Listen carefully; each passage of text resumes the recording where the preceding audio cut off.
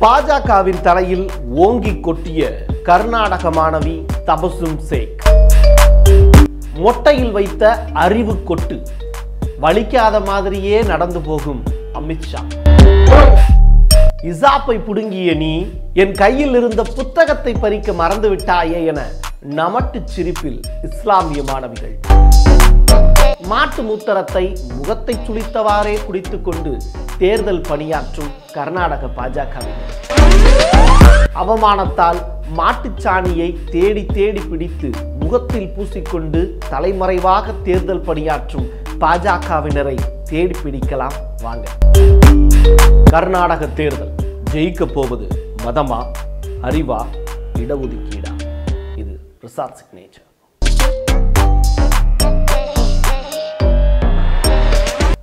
நானும் என்னென்னவோ செஞ்சு பார்க்குறேன். இந்த தென் மாநிலத்தை மட்டும் என்னால் கைப்பற்றவே முடியல அப்படின்னு அமித்ஷா ஹிந்தியில் நம்ம பிரதமர் மோடிகிட்ட ரொம்ப வருத்தப்பட்டு பேசியிருக்கார். சரி அதுக்குண்டான வேலையை எப்பயும் போல ரெண்டு வருஷத்துக்கு முன்னாடியே ஆரம்பிச்சிட வேண்டியதானே?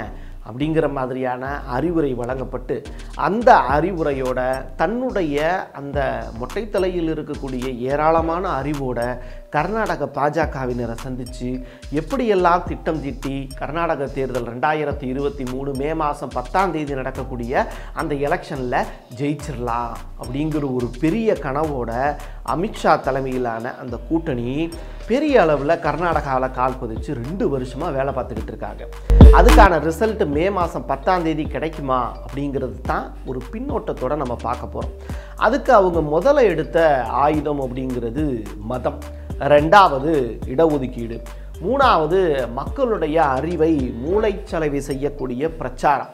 எதுவுமே செய்யாமல் எல்லாமே நான் செஞ்சுருக்கேன் அப்படிங்கிறத சொல்லி சொல்லி தான் பிரச்சாரத்தில் ஈடுபட்டு வசீகரமான பேச்சாலையும் கூமுட்டையாக மக்களை நினைக்கிறதன் மூலியமாகவும் பெற்ற மிகப்பெரிய அளவிலான வெற்றி. அதற்கு பிறகு ஆட்சி மாற்றத்துக்கு பிறகு காட்சிகள் மாறும். அதுக்கப்புறம் வந்து பொட்டியோட வந்து யார் யாரெல்லாம் சுத்துறான்னு சொல்லிட்டு பிச்சை எடுக்கக்கூடிய அரசியல்வாதிகள் அந்த ஒவ்வொரு சீட்டையும் கொடுத்து பாஜகவை அரியணையில் ஏற்றி வைத்து இந்தியா முழுவதும் நாங்கள் தான் ஆட்சி செய்கிறோம் அப்படிங்கிற பிம்பத்தை கட்டமைக்கிறக்கூடிய அற்புதமான ஒரு ஜனநாயக கோட்பாடை கொண் கொண்டாடிக்கிட்டு இருக்கக்கூடிய நம்ம பாஜகவினரை பற்றி தான் இன்றைக்கி நம்ம பார்க்க போகிறோம் இதில் கர்நாடகாவில் தேர்தல் நடக்க போதில்ல. இதுக்கு அவங்க முத முதல்ல எடுத்தது வந்து பார்த்திங்கன்னா ஹிசாப். ஞாபகம் இருக்கா அவங்களுக்கு இந்த மே மாதம்ல அதுக்கு முன்னாடியே கொஞ்சம் கொஞ்சமாக பின்னாடி நோக்கி போனீங்கன்னா கடந்த ரெண்டாயிரத்தி இருபத்தி ரெண்டாம் ஆண்டு ஒரு கர்நாடகாவில் வந்து ஒரு பல்கலைக்கழகத்தால் நடக்கக்கூடிய ஒரு பியூசி அப்படிங்கிற ஒரு தேர்வு. அந்த தேர்வில் ஒரு ஆறு மாணவிகள் நடத்தின போராட்டம். அவங்க எதுக்காக போராட்டம் நடத்தினாங்க அப்படின்னா இசாப் அணிஞ்சு பள்ளிக்கூடத்துக்குள்ளே போகக்கூடாது கல்லூரிக்குள்ளே போகக்கூடாது அப்படிங்கிற அந்த மத ரீதியான கோட்பாடுகளை நாங்கள் திறந்துட்டு உள்ளே வந்து எக்ஸாம் எழுத மாட்டோம் அப்படின்னு அவங்க கொடுத்த குரல். எதுக்காக என்னுடைய ஆடையை நான் துறக்கணும் அப்படிங்கிற அந்த மாணவிகளுடைய குரல் ஓங்கி ஒழிச்சது கர்நாடகா மட்டும் கிடையாது இந்தியா முழுவதும். நீதிமன்றத்தினுடைய கதவுகளையாவது போய் தட்டலாம் அப்படின்னு பார்க்கும்போது உயர்நீதிமன்றத்தினுடைய கதவுகள் பூட்டப்பட்டது அதற்கு பிறகு உச்சநீதிமன்றத்தினுடைய கதவுகளும் பூட்டப்பட்டது. கடைசியாக என்னதான் வழி அப்படின்னு யோசிக்கும்போது இந்த நாட்டில் மதத்தை வச்சும் அரசியல் பண்ணக்கூடியவங்க ரொம்ப தெளிவாக அரசியல் பண்ணுறாங்க அதே நேரத்தில் இங்கே இருக்கக்கூடிய சட்டங்களும் நமக்கு ஆதரவாக இல்லை அப்படிங்கும்போது அந்த ஒடுக்கப்பட்ட சமூகத்தை சேர்ந்த இஸ்லாமிய மாணவிகள் என்ன யோசிக்கிறாங்கன்னா படிப்பு மட்டும்தான் இந்த சமூகத்தை மாற்றுவதற்கான மிகப்பெரிய அளவிலான ஆயுதம் அப்படின்னு பெரிய அளவில் ஒரு முற்போக்கு சிந்தனை உடைய ஒரு தாய் தந்தையை அவங்க கிடைச்சதுனால அவங்க அந்த ஹிசாப் அப்படிங்கிற அந்த மத ரீதியான அடையாளத்தை திறந்துட்டு மிகுந்த வழியோடு மிகுந்த மனவேதனையோடு அந்த தேர்வை போய் எழுதுகிறாங்க பெரிய அளவிலான போராட்டம். நான் என்னோட ட்ரெஸ்ஸை வந்து கலட்ட சொல்கிறதுக்கு நீ யாரா அப்படின்னு சொல்லிட்டு ஒரு பொம்பளை புள்ள பார்த்து கேட்கக்கூடிய கேள்விக்கு இந்த நாட்டில் சரியான பதில் கொடுக்க முடியாமல் உச்சநீதிமன்றமே மறுத்தது அப்படிங்கிறது தான் யதார்த்தமான உண்மை. அந்த கசப்பான உண்மையை சுமந்துக்கிட்டே தேர்வு எழுத போனாங்க அந்த மாணவிகள். தேர்வு எழுதினவங்க மிகுந்த ஒரு பொம்பளை பிள்ளைக்கு இருக்கக்கூடிய வைராக்கியம் அப்படிங்கிறது அந்த வீட்டை மட்டும் இல்லை நாட்டையும் தலைநிமுறை செய்யும் அப்படிங்கிறதுக்கு உதாரணமாக தான் அந்த கேஸ் போட்டாங்கல்ல அந்த ஆறு மாணவி என் உடம்புல இருக்கக்கூடிய சட்டையை கரெக்டாக சொல்கிறதுக்கு நீ யாரா அப்படின்னு கேள்வி கேட்டாங்கல்ல. அந்த மாணவிக்கு சரியான பதில் கிடைக்காததுனால தன்னுடைய எழுத்து மூலியமாகவும் தன்னுடைய பேனா மூலியமாகவும் இந்த நாட்டுக்கு மிகப்பெரிய அளவிலான ஒரு பாடத்தை புகட்டியிருக்காங்க. தேர்வில் அறநூறுக்கு ஐநூற்றி தொண்ணூற்றி மூன்று மதிப்பெண்கள் தபுசும் சேக் அப்படிங்கிற அந்த மாணவி. மிகப்பெரிய அளவிலான சல்யூட்மா உனக்கு. ஏன் அப்படின்னா ஐநூறு ஐநூற்றி தொண்ணூற்றி மூணு மதிப்பெண்கள் எடுத்திருக்க. ஒரு ஒரு ப ஒரு பள்ளிக்கூடத்தில் படிக்கக்கூடிய நீங்கள் இவ்வளவு தூரம் திறமை வாய்ந்த ஒரு மாணவியை அவங்களோட விருப்பத்தின் அடிப்படையில் ஒரு ட்ரெஸ்ஸை போட்டுட்டு வர்றதுக்கு கூட இங்கே அனுமதி இல்லாத ஒரு சமூகத்தில் தான் கேவலமான சமூகத்தில் தான் நம்ம வாழ்ந்துக்கிட்டு இருக்கோம் அப்படிங்கிறது ரொம்ப தலைகுனிவை ஏற்படுத்தக்கூடிய விஷயம். அப்படிப்பட்ட மாணவி அமித்ஷாவினுடைய தலையில் மட்டும் கொட்டலை ஒட்டுமொத்த இந்தியாவினுடைய தலையிலையும் ஓங்கி கொட்டி ஒரு விஷயத்தை புரிய வச்சுருக்காங்க. நீ என்கிட்ட இருந்து என்னுடைய மதத்தை பறிச்சுக்கலாம் என்னுடைய உரிமையை பறிச்சுக்கலாம் என்னுடைய இடஒதுக்கீட்டை பறிச்சுக்கலாம் நான் வந்து எப்படியெல்லாம் மேலே வரணும்னு எனக்கு வாய்ப்பு இருக்கோ அதற்கு இருக்கக்கூடிய எல்லா ஏணிப்படிகளையுமே நீ தகர்த்து முடிச்சிடலாம். ஆனால் என்கிட்ட இருக்கக்கூடிய அறிவு இருக்குல்ல என்கிட்ட இருக்கக்கூடிய பகுத்தறிவு இருக்குல்ல அதை உன்னால் தட்டி பறிக்க முடியாது அப்படிங்கிறதுக்கு உதாரணமாக தான் அறநூறுக்கு ஐநூற்றி தொண்ணூற்றி மூன்று மதிப்பெண் எடுத்து அந்த கேஸ் போட்ட ஆறு மாணவியில் ஒருத்தவங்க தபுஷுப் ஷேக் இன்னைக்கு இந்தியாவையே தன்பால திருப்பியிருக்காங்க ஹிசாப் அப்படிங்கிற ஒரு பெரிய விஷயத்தை கையில் எடுத்து கர்நாடகாவில் ஆட்சி மாற்றத்தை ஏற்படுத்திடலாம் அப்படின்னு பாஜகவினர் குதியோ குதின்னு குதிச்சாங்க. ஆனால் அவங்களால இந்த தேர்வு முடிவுகளை தாங்கிக்க முடியல. ஒத்த பொம்பளை புள்ள ஒட்டுமொத்த பாஜகவையும் செருப்பால் அடித்த மாதிரி தன்னுடைய படிப்பு மூலியமாக பதிலடி கொடுத்துட்டாலே அப்படிங்கிற வேதனையோட தலகுனிஞ்சு போகக்கூடிய பாஜகவினரை கர்நாடக தெருக்களில் இன்னமும் நீங்கள் பார்க்கலாம். அப்படிப்பட்ட பாஜகவினருக்கு பிரசாத் சிக்னேஜரின் சார்பாக ஆழ்ந்த அனுதாபங்கள். ரெண்டாவது ஹிசாப் அப்படிங்கிற ஒரு விஷயத்தில் தோத்ததுக்கப்புறம் அவங்க எடுத்த மிகப்பெரிய ஆயுதம் அப்படிங்கிறது முஸ்லீம்கள்ட்ட இருந்து இடஒதுக்கீட்டை பறிச்சிடலாம் அப்படிங்கிற முடிவு. நான்கு சதவீத இடஒதுக்கீடு உங்களுக்கு எதுக்குடா அப்படிங்கிற கேள்வியை யதார்த்தமாக இல்லை ரொம்ப பதார்த்தமாகவே பிரச்சார மேடைகள்லையே வந்து பார்த்தீங்கன்னா சொல்லியிருக்காங்க. கர்நாடக பாஜகவினுடைய ஒரு தலைவராக இருக்கக்கூடிய ஈஸ்வரப்பா. முஸ்லீம்களுடைய ஒரு ஓட்டு கூட எனக்கு தேவையில்லைப்படா அப்படின்னு. ஸோ இந்த ஸ்டேட்மெண்ட்டெல்லாம் வந்து எப்படி வந்து கர்நாடகாவில் இருக்கக்கூடிய மக்கள் பார்க்குறாங்கங்கிறது எனக்கு புரியல.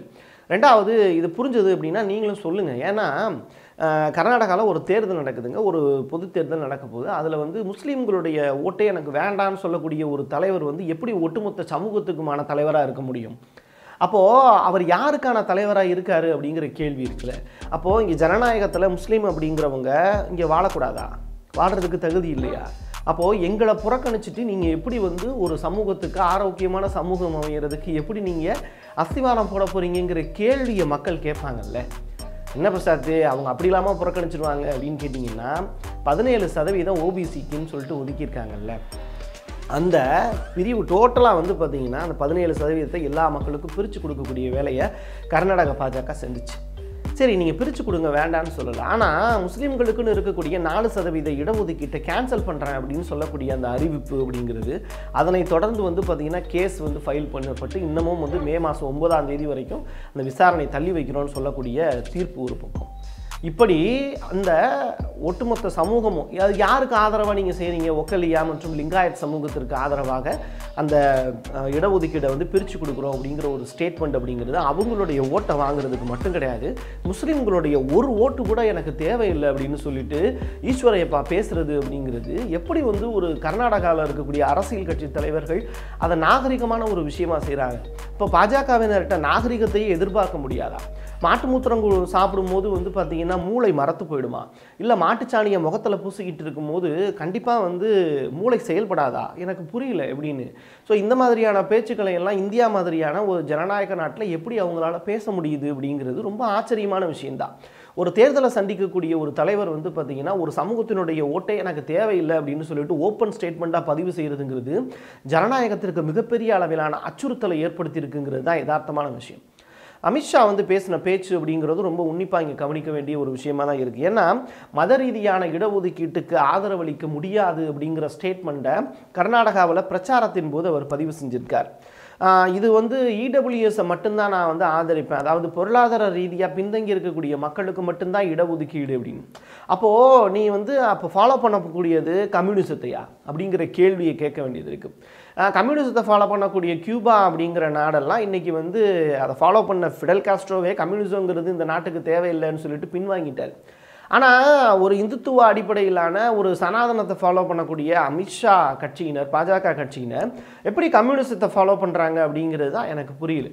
என்ன பிரசாத் கம்யூனிசத்துக்கும் பாஜகவுக்கும் என்ன சம்மந்தம் அப்படின்னு கேட்டிங்கன்னா இந்த பொருளாதார ரீதியாக பின்தங்கி இருக்கக்கூடியவங்களுக்கு தான் இடஒதுக்கீடு அப்படிங்கிற கான்செப்டே கம்யூனிசத்தினுடைய தத்துவம் தான். என்னைய பொறுத்தளவில் நீங்கள் கம்யூனிசம் அப்படிங்கிறது இல்லாதவனுக்கு இருக்கிறவன் கொடுக்கறது தான் ரைட்டா? அப்போ ஒருத்தன்ட்ட இருந்து இன்னொருத்தன் வாங்கிக்கிறது. அப்போது இங்கே என்ன பிரச்சனையாக இருக்குது எனக்கு சாப்பாடு இல்லை அப்படின்னா நான் உனக்கு சாப்பாடு மட்டும் தர்றேன் அப்படின்னு. அப்போது கடைசி வரைக்கும் ஒருத்தன்ட்ட கையேந்தக்கூடிய நிலையத்தான் கம்யூனிசம் உருவாக்கி வச்சுருக்கு அப்படிங்கிறது தான் யதார்த்தமான உண்மை. அதே தத்துவத்தை தான் இன்றைக்கி பாஜக ஃபாலோ பண்ணுறாங்க இடஒதுக்கீடு அப்படிங்கிறது பொருளாதார ரீதியாக பின்பற் பிற்படுத்தப்பட்டவங்களுக்கான இடஒதுக்கீடு அப்படின்னு சொல்லும்போது அப்போ அங்கேயே வந்து பார்த்திங்கன்னா ஒரு மிகப்பெரிய சனாதன கோட்பாடே பாஜகவுக்கு உடஞ்சிருது. அப்போ நீ ஃபாலோ பண்ணக்கூடியது கம்யூனிசமாங்கிற கேள்வியும் கேட்க வேண்டிய தேர்வு இது அந்த கேள்வியை இது நீங்களே ஒரு தடவை கேட்டு பாருங்கள் ஏன் அப்படின்னா இதை வந்து மறுபரிசீலனை பண்ண வேண்டிய தேவை இருக்குது இடபிள்யூஎஸ் அப்படிங்கிற அந்த கான்செப்டே கம்யூனிசத்தினுடைய ஒரு பகுதி தான் அப்படிங்கிறது என்னுடைய பார்வை. உங்களுடைய பார்வை என்ன அப்படிங்கிறதையும் நீங்கள் பதிவு பண்ணுங்கள் ஏன் அப்படின்னா இங்கே ஒரு பொருளாதார ரீதியாக பிற்படுத்தப்பட்டவங்களுக்கு அப்படின்னு சொல்லி பார்க்கும்போது காலம் பூரம் ஒருத்தவனுக்கு கொடுக்குறவனுடைய கை வந்து மேலையும் வாங்குறவனோட கையும் கீழையும் இருக்கும் அப்படிங்கிற அந்த பிற்போக்குத்தனமான சிந்தனை தான் தோணுது. இது என்னுடைய தனிப்பட்ட கருத்து. ரெண்டாவது இடஒதுக்கீடு அப்படிங்கிறது படிக்கிறதுக்கான வாய்ப்பு. ஒரு சமூகம் தொடர்ந்து வந்து பார்த்திங்கன்னா அடி வாங்கின ஒரு சமூகம் தலித் சமூகமாகட்டும் மலைவாழ் வாழும் மக்களாகட்டும் பழங்குடியின மக்களாகட்டும் இவங்கெல்லாம் காலம் பூரம் அவனுக்கு தேவை உணவு இல்லை அவனுக்கு தேவை அறிவு அவனுக்கு தேவையானது பகுத்தறிவு. எப்படி அசுரன் படத்தில் உங்ககிட்ட இருக்கக்கூடிய சொத்தை பருங்கிக்குவான் உங்கள்கிட்ட இருக்கக்கூடிய நிலத்தை பருங்கிக்குவான் ஆனால் உங்ககிட்ட இருக்கக்கூடிய அறிவை மட்டும் பரு பிடிங்கிட முடியாதுடா அப்படின்னு சொல்லக்கூடிய அந்த அற்புதமான ஸ்டேட்மெண்ட் அப்படிங்கிறத மறுபடியும் மக்கள் ஒரு தடவை மறுபடியும் மறுபடியும் ரீகால் பண்ணி பார்க்க வேண்டிய தேவை இருக்குது அப்போது இங்கே படிப்பு தான் முக்கியம். அப்போ அந்த படிப்பை சொல்லி கொடுக்கும்போது படிப்பை கொடுக்கும்போது பொருளாதார ரீதியாக வந்து நான் பின்தங்கி இருக்கேன் அப்படிங்கிற அந்த கேவலமான கான்செப்டை பாஜக தூக்கி வந்து நிப்பாட்டும் போது அதை ஏற்றுக்கவே முடியாத ஒரு காலகட்டத்தில் தான் இருக்கும். அப்படிப்பட்ட ஒரு விஷயம் அப்படிங்கிறது கர்நாடக பாஜக தேர்தலில் அவங்களுக்கு கை கொடுக்குமா அப்படிங்கிறதையும் மக்கள் யோசிச்சு பார்க்க வேண்டிய தேவை இருக்குது இது ரெண்டு விஷயங்கள் மட்டும் கிடையாது. மூணாவதாக ஒரு விஷயம் பார்க்கும்போது இந்து கோயில்கள்லாம் முஸ்லீம்கள் கடை போடக்கூடாது அப்படிங்கிற ஒரு ஸ்டேட்மெண்ட்டையும் பதிவு செஞ்சுருக்காங்க கடந்த இரண்டு ஆண்டுகளில். கர்நாடகாவினுடைய தேர்தல் பயணங்களில் வந்து டோட்டலாக வந்து கடந்த இரண்டு ஆண்டுகளில் அவங்க எடுத்தது மூணு ஸ்ட்ராட்டஜி தான். ஒன்று ஹிசாப் அணியக்கூடாது அப்படிங்கிற ஒரு விஷயம். ரெண்டாவது மத ரீதியான இந்த இடஒதுக்கீடு வந்து ஆதரிக்கலை அப்படிங்கிற ஒரு விஷயம். இடஒதுக்கீடை வந்து முஸ்லீம்களுக்கு ரத்து பண்ணுதுங்கிற ஒரு விஷயம். மூணாவது இந்து கோயில்களில் முஸ்லீம்கள் கடை போடக்கூடாது. ஒட்டுமொத்தமாக பார்க்கும்போது முஸ்லீம்களை புறக்கணித்து நான் இந்த தேர்தலை சந்திக்கிறேன் என்னை வெற்றி பெற செய் அப்படின்னு சொல்லிட்டு மக்கள்கிட்ட குரல் கொடுக்கக்கூடிய பாஜகவினருடைய முகத்தில் மறுபடியும் மக்கள் சாணியை அள்ளி பூசுவாங்களா அப்படிங்கிறத மக்கள்லாம் சாணிங்கிறது அவங்கள பொறுத்தளவில் ஒரு தெய்வீகமான விஷயம்தான். ஸோ வந்து சாணி எடுத்து கரைச்சி வந்து மூஞ்சியில் ஊற்றுறது அப்படிங்கிறது அவங்க அதை மகத்துவமாக தான் கருதுவாங்களே தவிர அதை அவங்க கேவலமாக கருத மாட்டாங்க அப்படிங்கிறதோட ஒரு நல்ல பார்வையோடு தான் அந்த விஷயத்தை நம்ம பதிவு செய்கிறோமே தவிர அவங்கள கேவலப்படுத்தணுங்கிறது கிடையாது. ஏன் அப்படின்னா அவங்க ஏற்கனவே அதை மகத்துவமாக தான் நினைக்கிறாங்க. ஸோ சாணி அப்படிங்கிறதும் மாட்டு மூத்திரம் அப்படிங்கிறதும் பாஜகவினருக்கோ சனாதனத்தை ஃபாலோ பண்ணக்கூடியவங்களுக்கோ ஒன்றும் புரிது கிடையாது அப்படிங்கிறதுனால இதை வெறுப்புணர்வோடு பதிவு செய்யலை. மக்களுக்கு வந்து விழிப்புணர்வுக்காக பதிவு செய்யணும் அப்படிங்கிறது தான். ஏன்னா என் கையெழுத்து என் மக்களுக்கானது அப்படிங்கிற அடிப்படையில் கர்நாடகாவில் இருக்கக்கூடிய மக்களுக்காகவும் அவங்க சந்திக்கக்கூடிய தேர்தலுக்காகவும் தொடர்ந்து அங்கே இருக்கக்கூடிய கள நிலவரங்களையும் அவ்வப்போது உங்களிடத்தில் தெரிவிக்க கடமைப்பட்டிருக்கிறேன். மீண்டும் ஒரு நல்ல பதிவில் சந்திக்கிறேன்.